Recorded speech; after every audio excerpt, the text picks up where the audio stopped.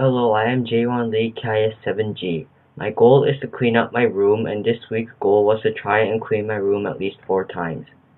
This week I absolutely forgot about cleaning my room and I only did it three times. But one day I cleared off my whole desk and then I swept my room with a cloth because there was so much dust and garbage everywhere. Next week I'll try to clean my room at least four times